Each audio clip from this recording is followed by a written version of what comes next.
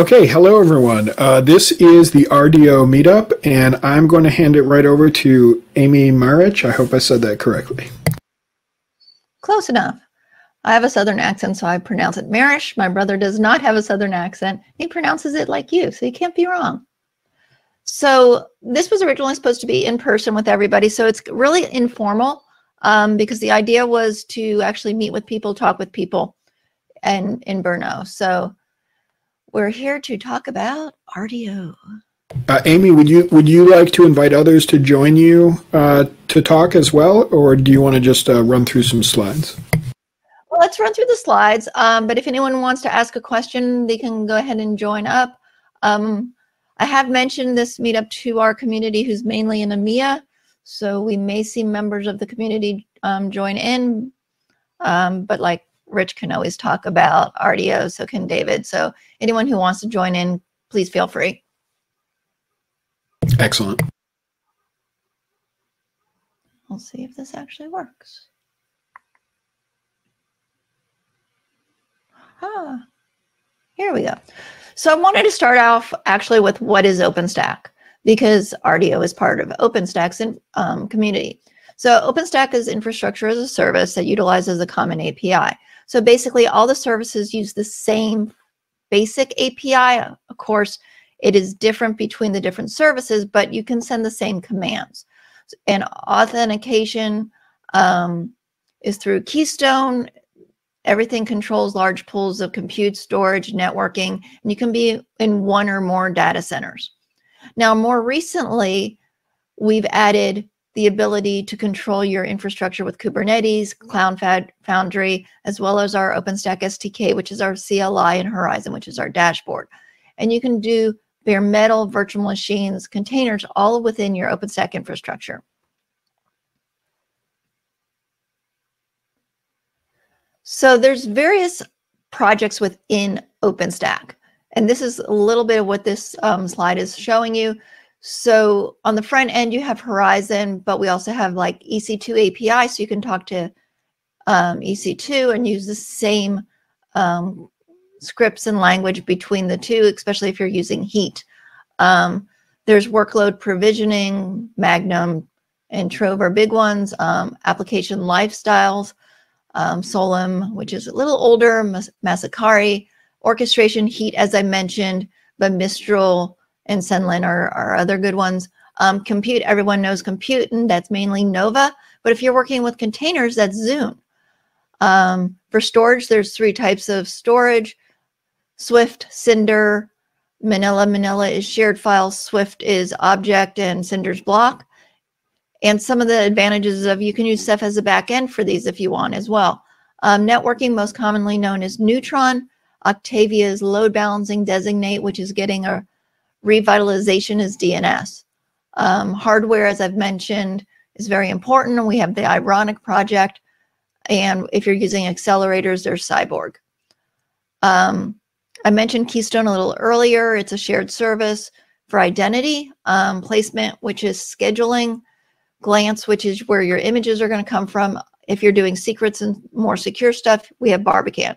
And there's a couple different projects for lifestyle maintenance.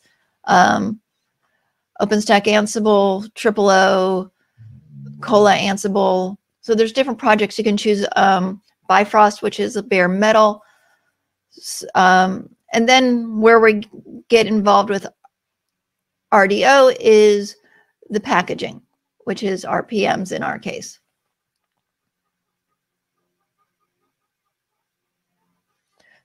This one is different. Okay, so what is RDO? So RDO is a community of people using and deploying OpenStack on CentOS, CentOS Stream, Fedora, and Red Hat Enterprise Linux. The community itself was launched in 2013 by Red Hat, and Rich was, I believe, the first community manager architect for the community. So thank you for all your hard work, Rich. And it's a RDO is available for free and is based on the OpenStack releases.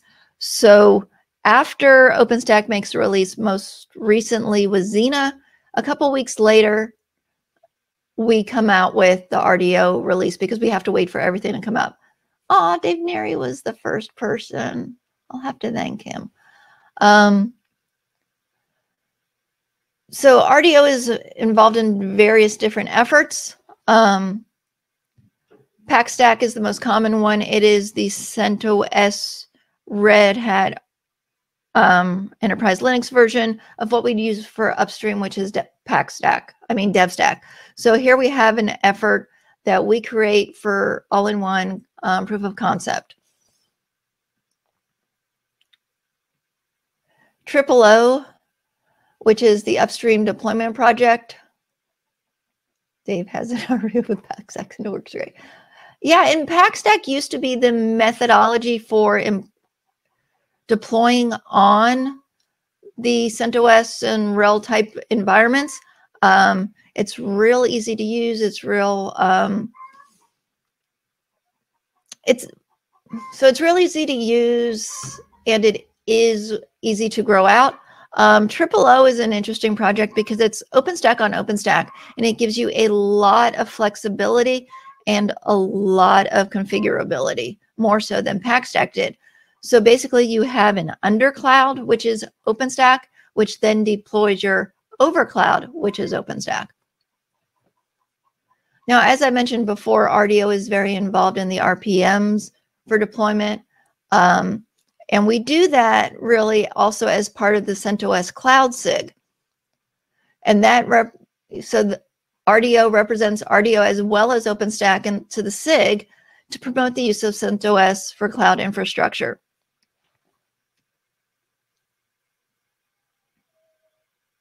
So how to get involved in RDO.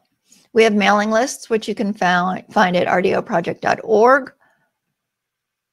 And we have a users list as well as a dev list. IRC, with the implosion of Freenode, we have moved as well as OpenStack to OFTC. And you can find us in the RDO room. We are also on Element, which is tied into the OFTC room. Um, meetings, we're every Wednesday at 1400 UTC in RDO. True, it is matrix, not element. That's where I use it. Um, and I want to just leave this up here while we talk. So if anyone wants to know how to reach us, that is up there. I like Element because it's web-based and I can just connect to everything. I am really bad since Freenode died. I do not have my bouncer back up and running. So Matrix is great in that you do not need a bouncer. So, like I said, this was really supposed to be just a gathering to talk and meet people. Um, so does anyone have any questions about RDO, OpenStack, how to get involved? And if you'd like to join us on screen, just let Michael know.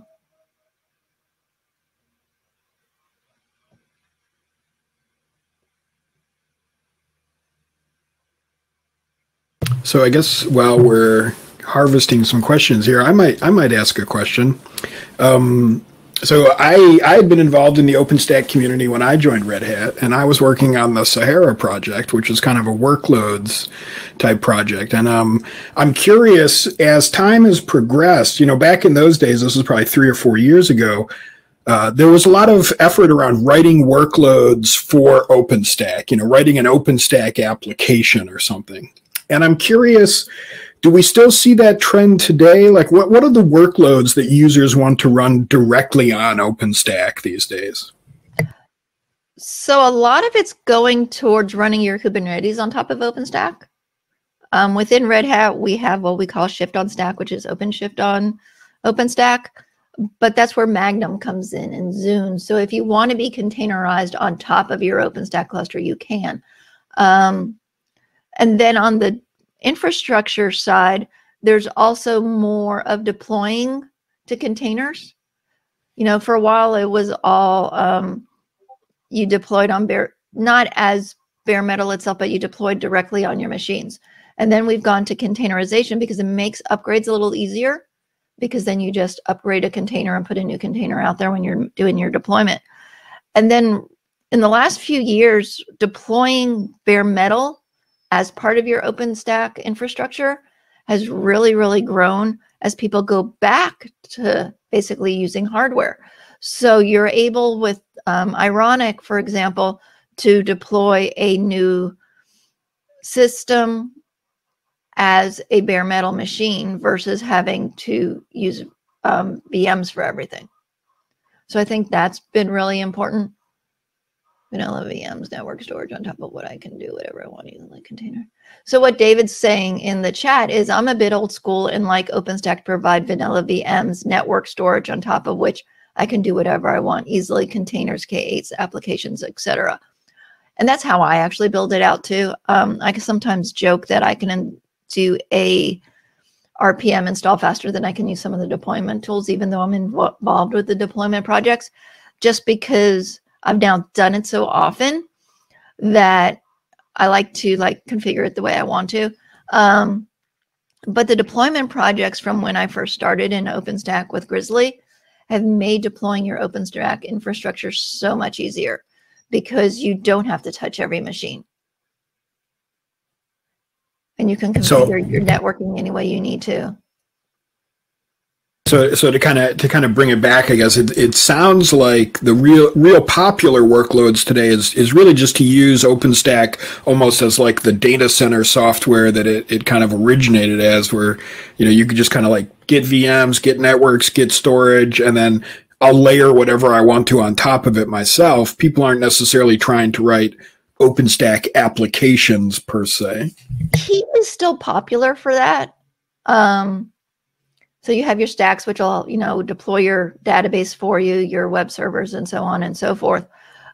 But OpenStack ultimately has always been infrastructure as a service. And that's where its strengths are. Yeah, and I think you know during the era that I'm talking about, when you know when when like the Sahara project was very popular at that time, you know there was this notion that people almost like you know as Kubernetes was becoming popular, there was this notion that you might write an app for OpenStack, kind of in the same way that we see people writing apps for Kubernetes today, like writing an operator or a controller or something. So I think that this to me was always kind of an interesting trend in the in the community. Yeah, and there still are things on the marketplace that are basically applications you can install on top of OpenStack. But OpenStack has really become popular in for your open public clouds um, VEXXHOST, OVH, City Network, and they're rock solid. Um, and they can compete with your AWSs and your Google Clouds as far as, you know, having good infrastructure for you to deploy what you want on top. And then, of course, we're always popular for private clouds because you can run your own cloud within your own data center. Um, telcos and Edge are very, very big into OpenStack because they can deploy what they need in their main data center and then just have a small node out in wherever they need them, whether it's edge for telco or whether it's um, for like on-site sales. You can do that with edge. Um, so I don't think we're concentrating so much as a community on what you're deploying on OpenStack, but making sure you can deploy whatever you want on OpenStack. That, that makes a lot of sense to me, and certainly um, from my perspective, and I, you know, I do a lot of work on Kubernetes and OpenShift, and specifically on our cloud infrastructure layer. Um, in the upstream communities that I'm in, you know, like OpenStack seems to sit, you know, right alongside AWS, GCP, all these other clouds in terms of how they integrate with the projects and kind of like their their presence in the upstream. So I think it's really encouraging to see that. Yeah, and that was one of the thing with the EC2 API is that you can use the same thing within OpenStack or within a AWS. Um, and I think that's the most important thing when you're talking about an open source project is that it can be used in other locations that you can share that, you know, what you use on OpenStack, you can use on Google Cloud and so on. Um, and that's kind of where Kubernetes went as well, because Kubernetes came in as, you know, container deployment and you should be able to run those same containers anywhere that you need to. So then you get into the whole hybrid cloud model. Um, and from the OpenStack side of things, our hybrid cloud was more originally the thought of public versus private, because that's where we were at the time. And then, you know, all the other cloud providers came out, and you know, then it does become, can your stuff run on us as well as everybody else? Makes sense. And and thank you for indulging me. Well, thank you. So who, who else who else has got some questions or would like to join the conversation here? David's doing lots of typing in the chat. Yeah, I'm I'm kind of curious what David's got going on in his basement because it sounds like an amazing OpenStack cloud built there. Yeah, when I first met David was actually as part of OpenStack Ansible because of the Ansible key in that particular project. Um, and then he came out with Ara, so which has been very important to the Zuul testing environments that we use in OpenStack. So that's another thing to take note of is the fact that other projects have spun out of OpenStack such as Zuul, which is our testing environment, which if you haven't used it is great. Um, because what it allows us to do is test within the project itself to make sure that any patches work. But then we test within the whole, everybody's patches that are merged up to that point. So if you get through the Zuul gates, you should be bug free. I say bug free um, but you know, occasionally, you know, something got through that wasn't being tested for. And I think that exists in any gating or testing environment because if you didn't add a test, of course, it can't test for it. I, you know, I think that that's a great call out. Like Zuul is such an amazing piece of software, and you know, I mean, I you know, my experience with it is as a developer, and I think probably you know most OpenStack users you know may not even know that it exists. But yeah, it really is tremendous work that the community did to build such a thorough testing platform that could integrate you know separate projects to really like test this matrix of compatibility. So yeah, I'm always amazed when I when I kind of look at that stuff. Yeah, and one thing we've done within RDO is originally uh, some of the contributions for RDO, like the website, were through GitHub. But because, you know, we want all OpenStack contributors, you know, even RDO contributors, to be able to contribute upstream if they want, we moved over to using our own Gerrit for even the website so that if you onboard for RDO and, and you learn how to use the systems and make patches and everything else, you can then contribute to OpenStack itself because you're used to the tools. And I think that's important that you shouldn't like use one set of tools for one thing and another set of tools for other things, because then you've got another learning curve to contribute. Um, so that was one thing I did early on within joining the RDO community.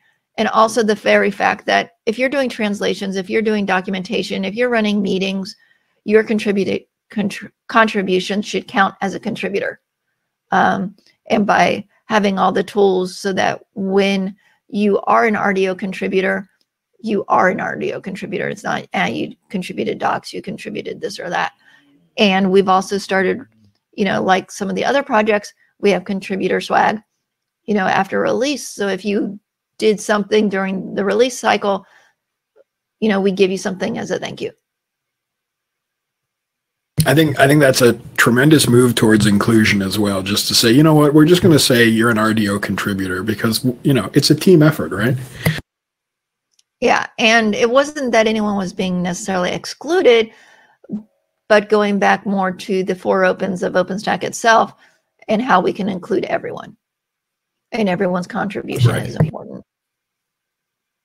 Now, go, going back to something you, you were just saying about Zuul and, RDO and whatnot, and I just I'm just curious: is that uh, that testing work? Is that what's happening around the Software Factory project? Yeah.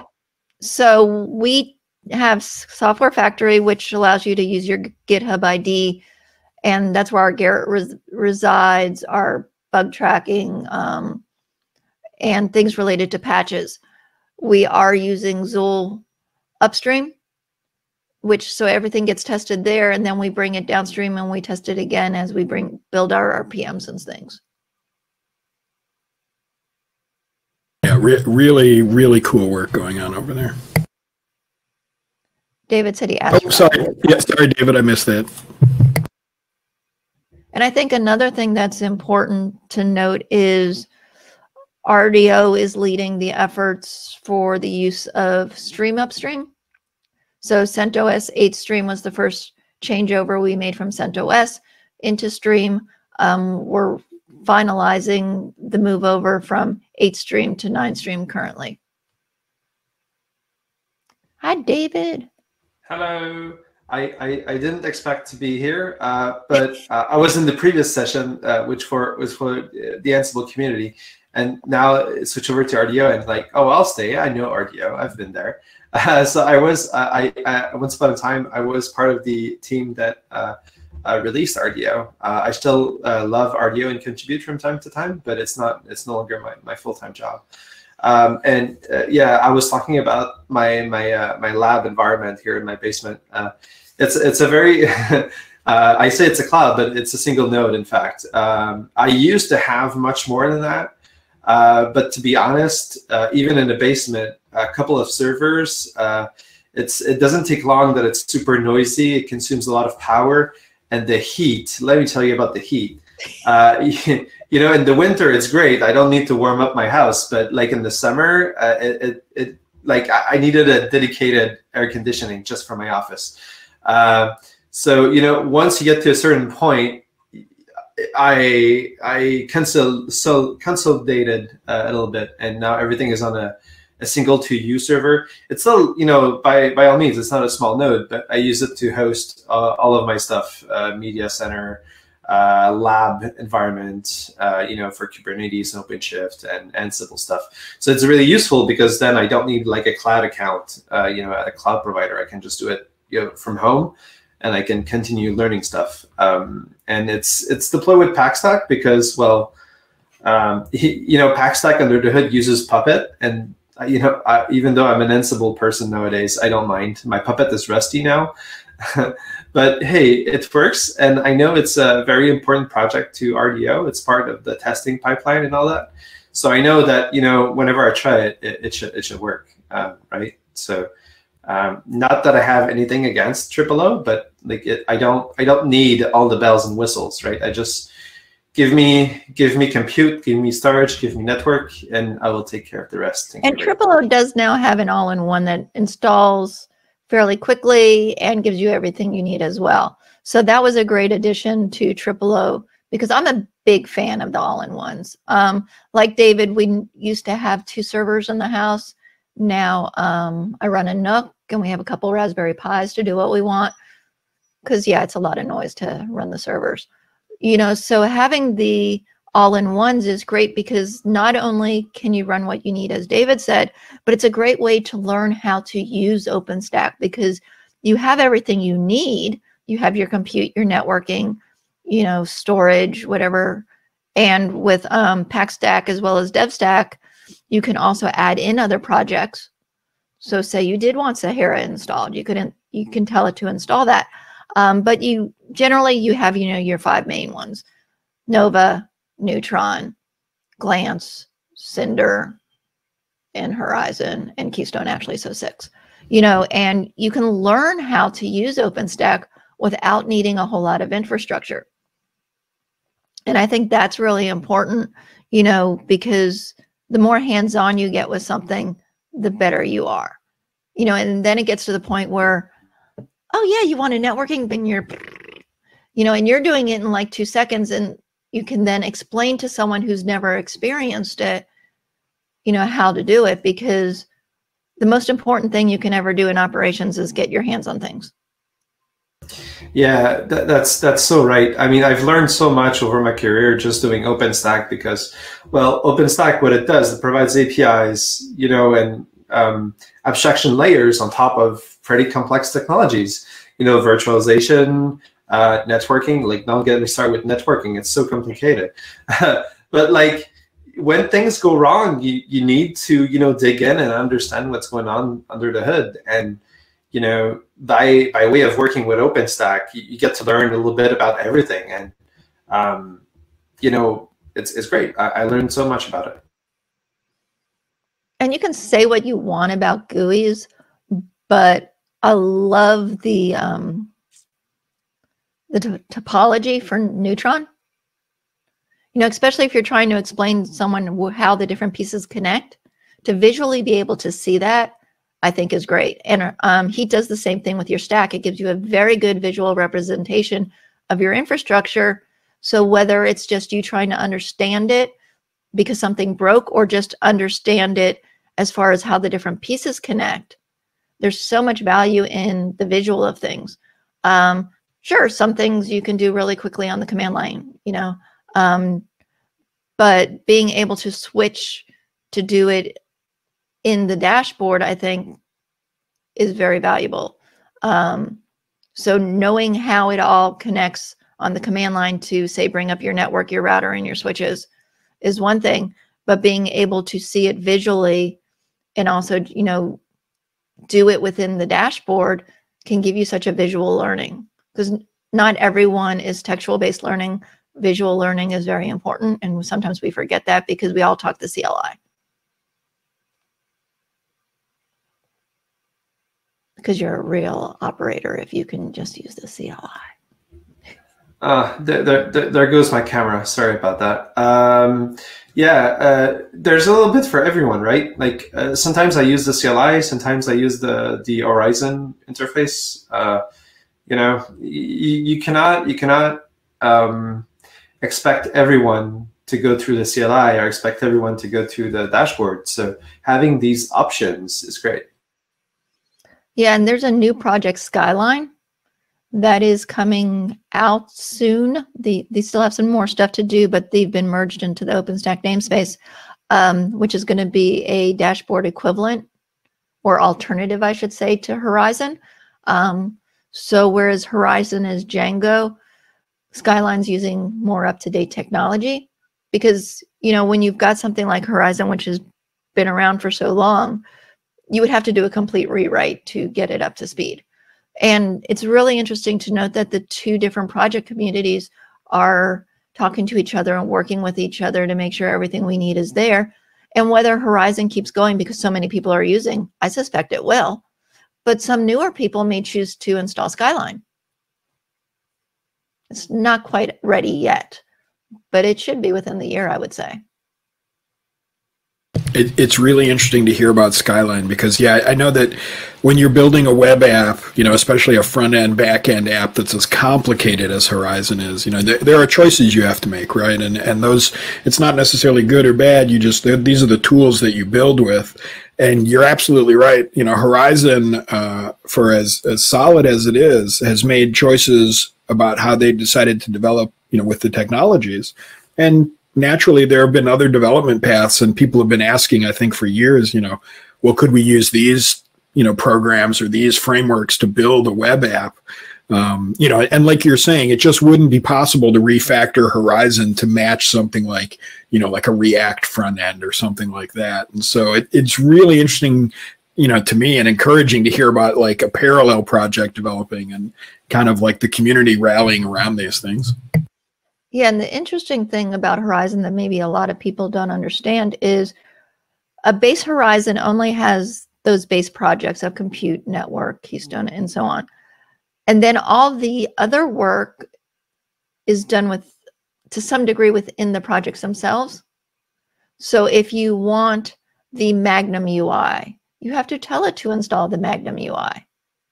Um, so one of the things is why I say Skyline's probably a year out is because all that modularness will need to be replicated, at least for the major ones.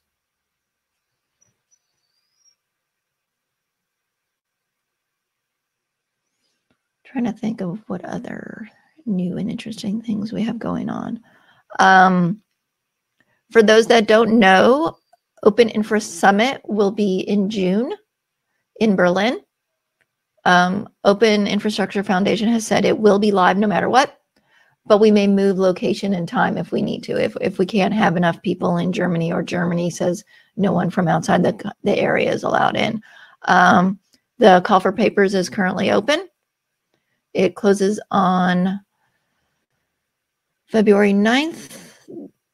And let me, I will get the um, URL and paste it up. It's basically cfp.opendev.org. Um, Rich, they have not announced any proposed locations. Um, I know Vancouver was one of the ones that we were canceled. So con contractually, that's a good possibility is Vancouver. Um, but we have not gotten any hints of where it might be because they are, we are going to be in Berlin. Um, and that is the hope. But then Om- Omicron came out, so that gave us some doubts. But the hope is Berlin in June. Um, there will be an ops meetup the Friday and possibly Saturday after, which is a great opportunity for operators to come together and talk about OpenStack, their deployments. Um, Ceph is usually a popular discussion during that um, meetup as well. So we're planning like Berlin is on. Um, and we will know in April if we're not going to be in Berlin. I think that's the cutoff date for if we need to move it. But my gut says if it's not Berlin, Vancouver's the backup.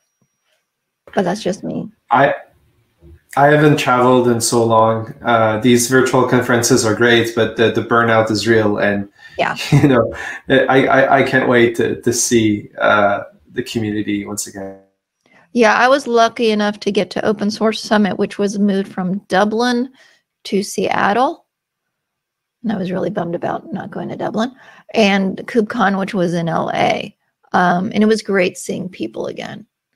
Um, but a lot of people and a lot of companies, you know, weren't ready to get out there and chose not to go to the events. So we're fingers crossed for Berlin. And I think that's the safest way to say it is fingers crossed.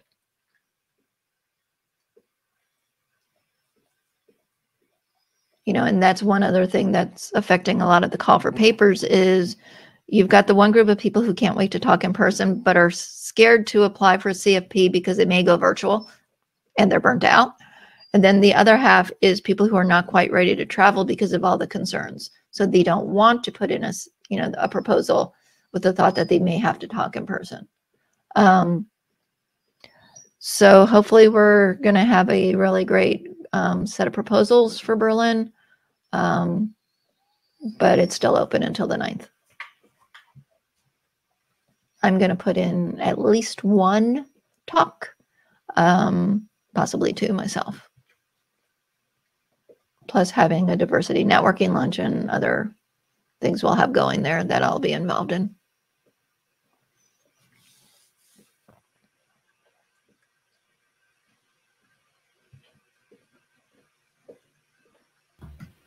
I, I have to drop, but it was nice talking to you. Uh, and uh, keep keep uh, RDO going. I like it uh, very much. Thank you for all your work on. And thanks for coming on.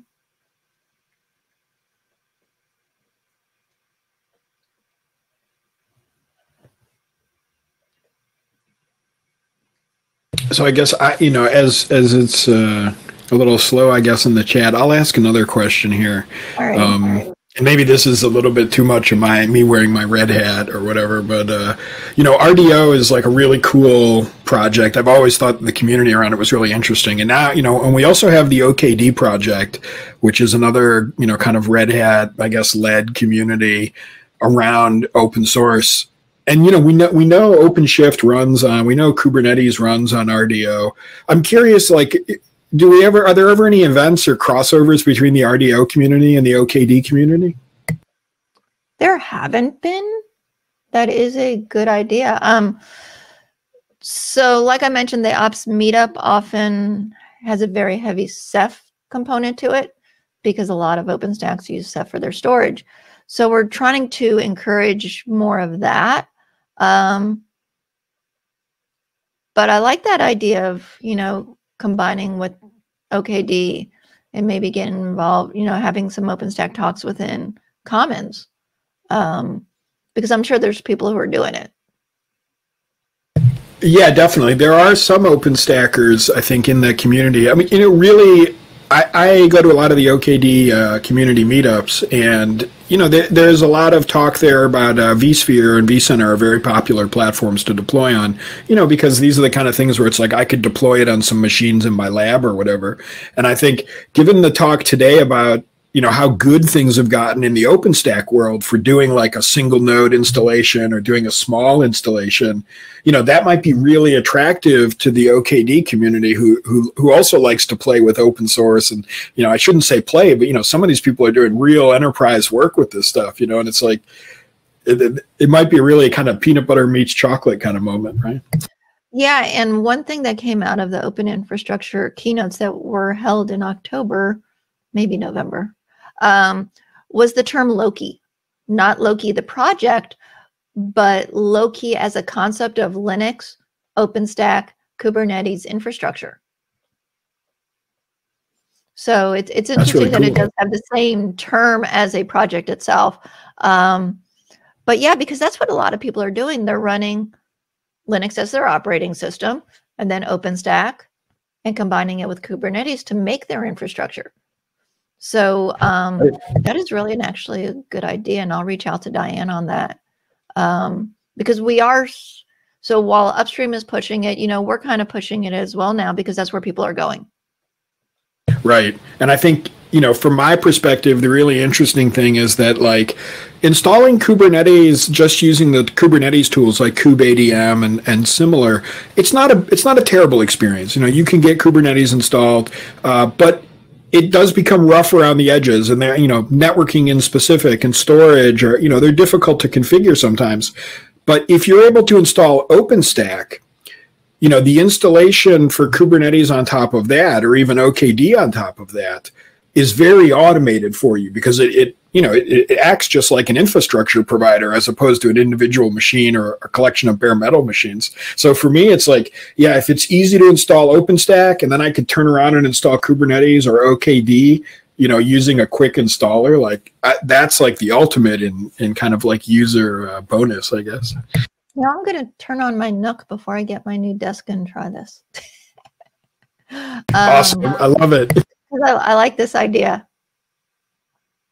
Well, interesting enough, um, this is what I've done internally on some of our machines is I've used machines in our laboratory to install a single node OpenStack, and I wasn't using RDO. I was using the productized, you know, OpenStack that Red Hat sells. Um, and then, yeah, I use the OpenShift installer on top of that, and it all, you know, it all seemed to work kind of auto magically for me. So, you know, at least with I was using the commercial versions, but I've done OKD installations as well, not on OpenStack, but I don't I don't imagine it would be any different. So for me, it was a great experience to kind of like go all the way down the stack. Yeah, and I know there's instructions for um, installing service telemetry framework on top of OKD. So that yeah, this would actually be a good thing because if I can get it running, it's a good blog post or instructions for the OKD documentation. Because um, personally, I've used mainly Magnum and Zun for my Kubernetes on OpenStack. Um, but yeah, that makes a lot of sense, right? Yeah, I mean, Magnum does take a lot of horsepower, which is why when I just want a single, you know, container running, I'll use Zun. It's a lot more lightweight. But um, because don't forget, I'm using a proof of concept machine, which is usually a VM running within a VM. Right, right. And, you know, I had the luxury of having access to like a 40 core, half a terabyte of RAM, you know, server instance. So, you know, it's a little bit different than even that setup or, or David's, you know, basement laboratory. Yeah, I went to bring up the old Dell machine or the old Sun machine here at the house, and it's like, it's too old to run any drivers, which is why I went and got the NUC.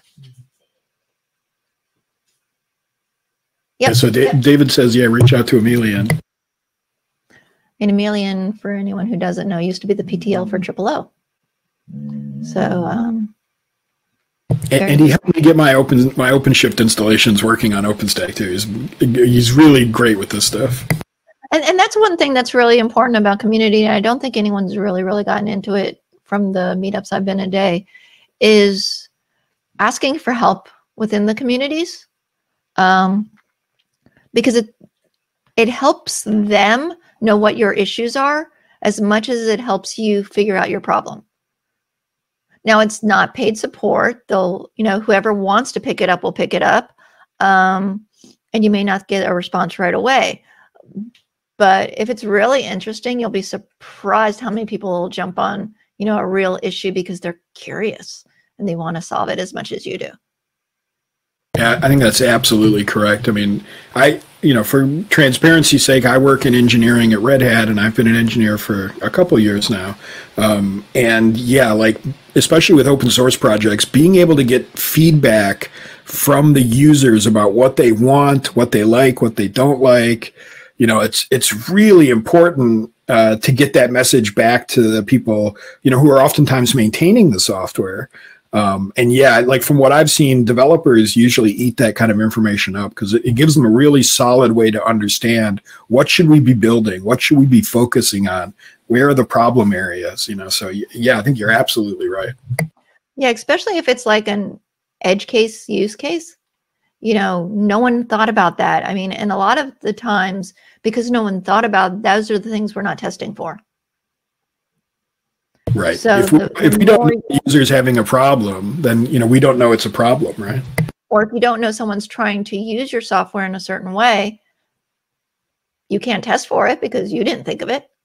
Um, right. Right. Yeah. Exactly.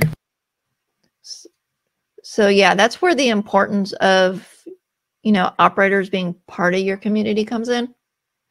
Um, being on the mailing lists, even if you never send an email to a mailing list like I keep everything.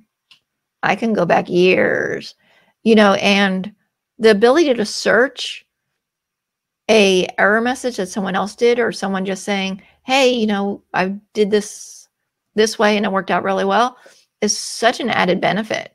And yeah, there are the archives, you know, for all the mailing lists that use Mailman, RDO included, um, OpenStack as well. But having everything local, you know, to me is just quicker and fun. So I'm a pack rat. As I, as I watch the unread count on my OpenStack Dev mailing list uh, go up and up and up. I look at them and at least breeze through, you know, because then if two months later I see somebody asks something, and I'll go, hey, wait, and someone asks something very similar, and then I go look for it.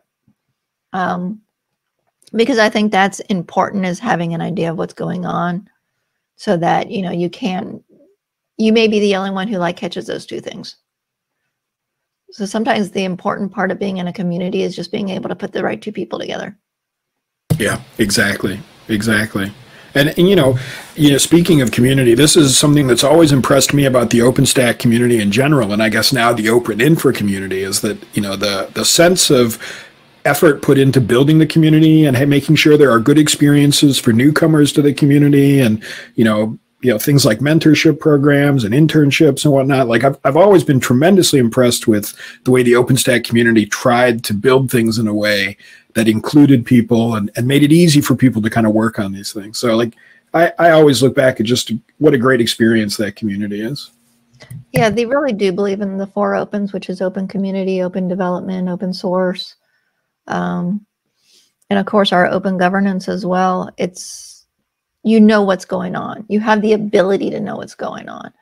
And um, i think that's important to know where things are going and to be able to follow along. Um, you know everyone is like you're still on irc but yet anyone can join. And we log everything. So even if you don't have a bouncer that you can see things you can go and look at the eavesdrops you know, and, and often, you know, you'll be in a conversation and someone will send a link to the exact place in the e- eavesdrop so you can catch up real quick. Um, so not the latest and greatest tools, but at the same time, they work because it gives us a functionality. So um, those are some great things from upstream that are community related.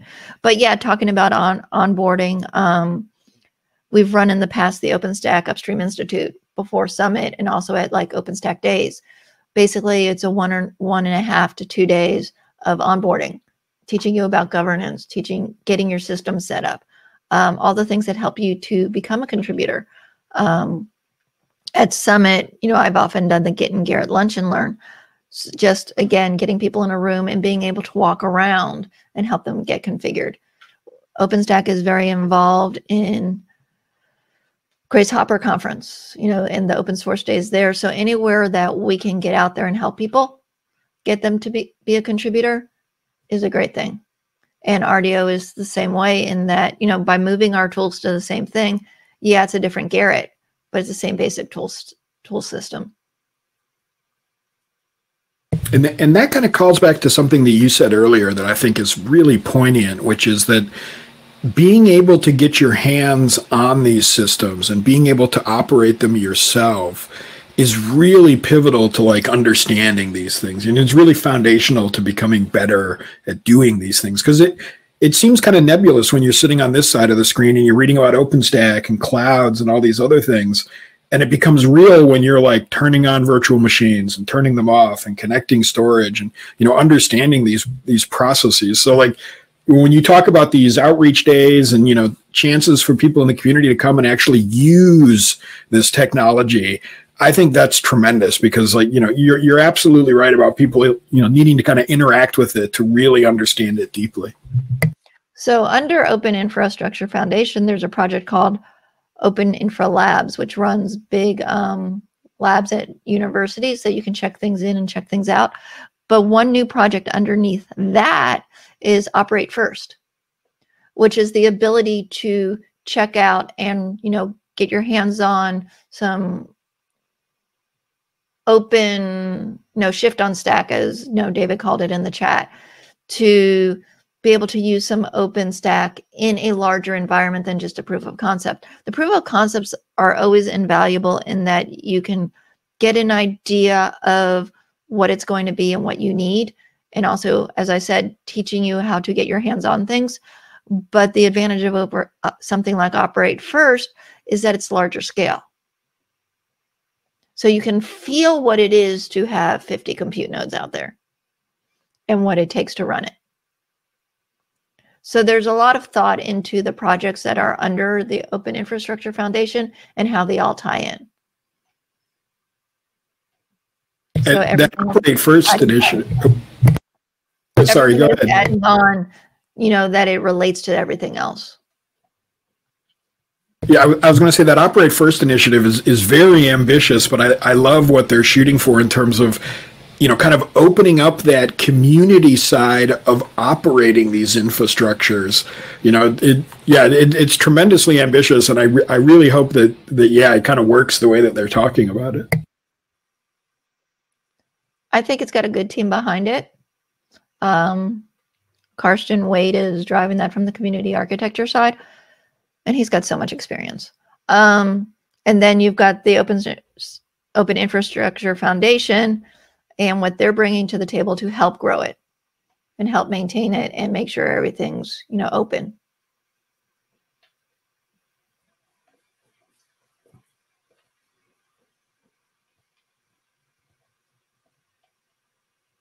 and we are at about 50 minutes or so uh, yeah i think you know technically we have maybe seven or eight minutes left before the end here do we have any more questions from the chat?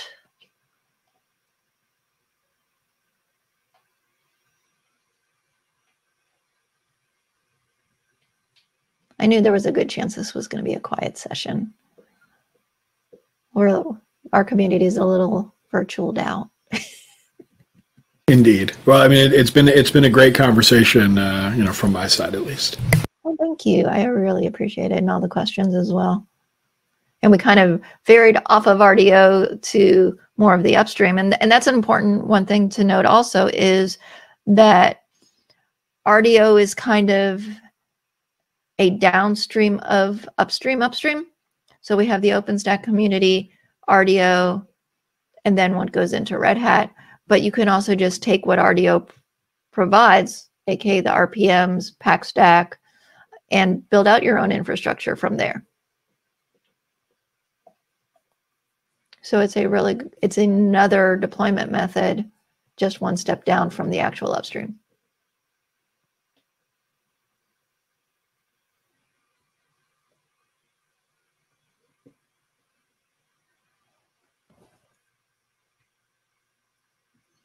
Well, I say we give everyone back a few minutes. Okay, well, uh, Amy Marrich, thank you very much uh, for hosting today. And um, yeah, I hope everyone goes and tries out RDO. Thanks everyone for coming and all your questions. And thank you, Michael, very much. Take care all.